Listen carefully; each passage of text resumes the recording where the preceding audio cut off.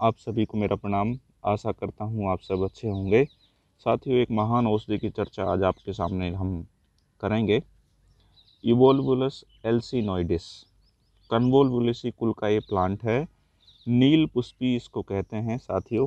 नीले सुंदर फूल आप देख पा रहे होंगे। मित्रों, आज मन बड़ा प्रसन्न भी है और कुछ अनसुलझे सवालों के जवाब जब मिल जाते हैं तो मानसिक स्थिरता भी बढ़ती है और कॉन्फिडेंस भी बढ़ जाता है। साथियों, कुछ लोग इसको शंख पुष्पी कहते हैं, जबकि आप खुद स्वयं ये देख पा रहे होंगे कि शंख जैसे इसके पुष्प नहीं हैं, लेकिन ओरिजिनल शंख पुष्पी यही है।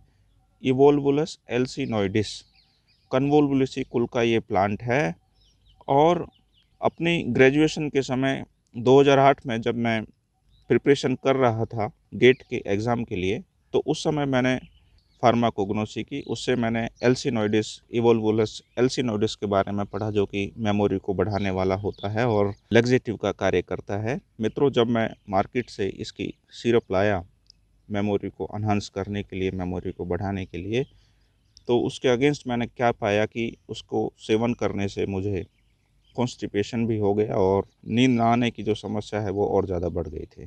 कंसंट्रेशन का लेवल इतना मैं नहीं कह सकता कि बढ़ा था और अच्छे ब्रांड की मैं शंख पुष्पी सिरप लाया था। तो उस समय मन में काफ़ी प्रश्न हुए कि शंख पुष्पी सिरप पीने के बाद ये लिटरेचर में जो वर्णन दिया गया है, इस प्रकार का प्रभाव शरीर पे क्यों नहीं आ रहा है? संभवतः जो मिसनोमर नेम होते हैं, उनके कारण कहीं ना कहीं मार्केट में बनने वाली जो सिरप होती हैं, उसमें शायद वेल आइडेंटिफाइड हर्ब का उपयोग नहीं किया जा रहा है। मित्रों, भाव प्रकाश निघंटू में भी और भाव प्रकाश निघंटू के कई अलग अलग टिप्पणियाँ जो व्याख्याएँ लोगों ने जो की हैं, उसमें इवोल्वुलस एल्सिनोइडिस को शंखपुष्पी कहा है, लेकिन विष्णु क्रांता कहा है, आप खुद स्वयं ये देख पा रहे होंगे कि शंख जैसे इसके पुष्प नहीं हैं, लेकिन इवोल्वुलस एल्सिनोइडिस यही है। कुछ लोग मिजोपेट्स कैलिसिनम को शंख पुष्पी कहते हैं और कुछ लोग क्लिटोरिया टर्नाटिया, क्योंकि तो इन दोनों के पुष्प शंख जैसे होते हैं, इसलिए उसको वो शंख पुष्पी कहते हैं, लेकिन भाव प्रकाश निगंटू में इवोल्वुलस एल्सिनोइडिस को शंख पुष्पी कहा गया है, लेकिन इसके पुष्प जो है शंख जैसे नहीं हैं, लेकिन ओरिजिनली अगर कहें तो यही नील पुष्पी है और यही वास्ट थेरापेटिक एप्लीकेशन के लिए उपयोग में आने वाला हर्ब है, गमलों में आप इसको लगा सकते हैं। अच्छी औषधीय उपयोगों के लिए मित्रों इसको गमले में लगाना चाहिए। ज़मीन से हैवी मेटल्स को ये ले लेता है सॉइल से हैवी मेटल्स को ले लेता है। अच्छी औषधीय गुणों के लिए आप इसको गमले में कल्टीवेट कीजिए और वंडरफुल मैजिकल ये प्लांट है। साथ ही अब गुणों की चर्चा करेंगे। इसके जो पूरा प्लांट औषधीय गुणों के लिए उपयोग में आता है, इसके जूस आप निकाल लीजिए। 10 से 15 एम जूस का आप सेवन करते हैं तो शरीर की वीकनेस को दूर करता है। माताओं, बहनों, जिनमें गर्भ धारण की क्षमता नहीं होती है, उनको जेनाइटल ऑर्गन्स की वीकनेस को दूर करते हुए गर्भ धारण की क्षमता को बढ़ाता है। पुरुषों में स्पर्म काउंट ख़त्म हो जाता है एजूस्पर्मिया हो जाता है, उसको ठीक करने का कार्य करता है। मानसिक रोगों को ठीक करने का कार्य करता है, उन्माद हो जाए उसको ठीक करता है, एपिलेप्सी की समस्या हो उसको ठीक करता है, बुद्धि को बढ़ाने वाला होता है, मेधा को बढ़ाने वाला होता है, और लीवर को स्ट्रेंथ प्रोवाइड करने वाला होता है। साथियों, इसका मुख्य उपयोग नर्वाइन टॉनिक के रूप में हम लोग करते हैं। इसकी जो जड़ होती है, नीचे आप निकाल लेंगे। उसका लेग्जेटिव प्रॉपर्टी के लिए उपयोग किया जाता है कॉन्स्टिपेशन को दूर करती है। लंबी स्टडीज़ जब हम करते हैं, लंबी अवस्था तक बैठकर पढ़ते हैं तो कॉन्स्टिपेशन भी हो जाता है।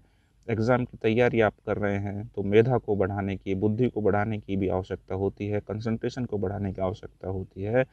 इस सब प्रकार के कार्य के लिए उत्तम औषधि है।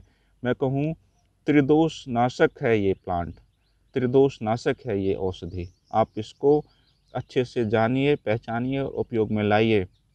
2008 से लेकर और 23 तक, करीब पंद्रह साल बाद, सही इबोलवुलस एल्सिनोइडिस शंख पुष्पी जो लिटरेचर में वर्णन है उसको हम पहचान पाए हूँ, मैं पहचान पाया हूँ। आज मुझे प्रसन्नता है, मुझे हर्ष है कि सही शंख पुष्पी जो लिटरेचर में वर्णन है, इसको हमने आज जाना पहचाना जबकि काफ़ी शोध, रिसर्च लोग मिजोपेट्स कैलिसिनम पे कर लेते हैं, क्लिटोरिया टर्नाटिया पे कर लेते हैं शंख पुष्पी समझकर। क्योंकि उसका पुष्प वाकई शंख जैसा होता है तो वो शंख पुष्पी कहते हैं, लेकिन जो लिटरेचर में, ट्रेडिशनल आयुर्वेदिक लिटरेचर में वर्णन है, वो इवोलबुलस एल्सिनोइडिस का है, और जबकि इसका पुष्प शंख जैसा बिल्कुल नहीं होता है। कन्वोलबुलसी के कुछ मेंबर्स के पुष्प शंख जैसे ज़रूर होते हैं लेकिन इवोलवुलस एल्सिनोइडिस का नहीं होता है, जो कि आपके सामने आप देख पा रहे होंगे। इसके अलावा मित्रों, अगर गंडमाल की समस्या हो जाए, गले में सूजन हो जाए तो आप क्या कर सकते हैं? आप इसके पत्र का पेस्ट अति बला के साथ मिलाकर लगाइए। गंडमाल की समस्या दूर हो जाती है। साथ ही साथ इसके सुरस को भी आप पीते रहिए। 10 से 15 एम इसका सुरस, शहद मिलाकर सेवन करना चाहिए। गंडमाल की समस्या दूर हो जाती है। इसके अलावा मित्रों अगर लिम्फ नोड में स्वेलिंग है तो उसको भी ठीक करने के लिए आप इसका सुरस शहद मिलाकर सेवन कीजिए, वो समस्या भी ठीक हो जाती है। त्रिदोष नाश जब हो जाते हैं तो शरीर के हर प्रकार की न्यूरोमस्कुलर समस्याएँ दूर हो जाती हैं एंडोक्राइन डिसऑर्डर्स ठीक हो जाते हैं डायबिटीज़ में भी अच्छा कार्य करता है, हमारे लीवर को जब स्ट्रेंथ मिलती है ब्लड को प्यूरिफाई करता है फ्री रेडिकल स्कैनिंग एक्टिविटी जिसकी होती हैं, हमारी मेमोरी को बढ़ाने का कार्य करता है, और न्यूरो डिजनरेटिव जितनी भी डिसऑर्डर्स हैं, सभी में इसकी अच्छी गुणवत्ता, इसकी उपयोगिता, इसकी पोटेंसी देखी जाती है। डिमेंशिया को ये ठीक करने वाला होता है। और मित्रों, अगर नींद न आने की समस्या हो तो वो भी ठीक हो जाती है। कितनी महान औषधि है शरीर के, हर प्रकार के रोगों को ठीक करने के लिए उपयोग में आ रही है। मित्रों, और अगर अस्थमा की समस्या हो तो इसको सुखा के आप रख लीजिए। इसका धूम्रपान करना चाहिए। अस्थमा की समस्या आसानी से ठीक हो जाती है। अस्थमा की समस्या को दूर करने के लिए आप इसको सुखा के रख लीजिए, इसका धूम्रपान कीजिए। अस्थमा की समस्या आसानी से ठीक हो जाती है, लंग्स को स्ट्रेंथ प्रोवाइड करता है, पुराने से पुराने कफ को दूर करता है, जड़ का उपयोग लेग्जेटिव के रूप में कर सकते हैं विबद्ध की समस्या भी ठीक हो जाती है। अब आप इस नील पुष्पी को, नील पुष्पी ही समझिए और पुराने जो लिटरेचर में शंख पुष्पी के नाम से इवेलवुलस एल्सिनोइडिस का जो कन्फ्यूज़न है, उसको दूर कर लीजिए। इसीलिए मैं हमेशा ये रिकमेंड करने की कोशिश करता हूँ कि आप हमेशा प्लांट को साइंटिफिक नेम से जानें वर्नाकुलर नेम से। बहुत कन्फ्यूज़न होता है, ना तो सही औषधि हमें मिल पाती है और ना ही सही जानकारी के कारण हम सही प्लांट को ले पाते हैं। तो अच्छे औषधीय फॉर्मुलेशन बनाने के लिए प्लांट को वेल आइडेंटिफाई कीजिए टेक्सोनोमिक आइडेंटिफाई कीजिए वर्नाकुलर नेम से नहीं जाना चाहिए। एक्सेस आप देखेंगे कि बहुत पब्लिकेशन हो चुका है, बहुत किताबें लिखी जा चुकी हैं, शंख पुष्पी शंख पुष्पी शंख पुष्पी और ओरिजिनली जो इवल प्लस एल्सिनोइडिस है, इसका पुष्प आप देख रहे हैं, कहीं भी शंख जैसा नहीं है।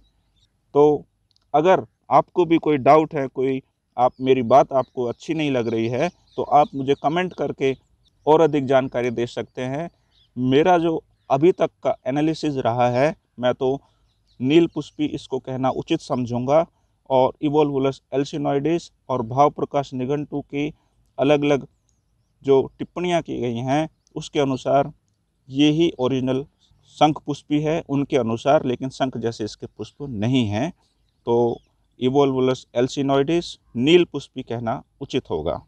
और अधिक जानकारी के लिए आप हमें कमेंट कर सकते हैं। चैनल को सब्सक्राइब कर लें।